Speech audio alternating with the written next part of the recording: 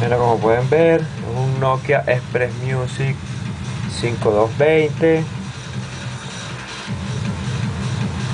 Está liberado y lo vendo con una línea Movistar. Carcasa nueva.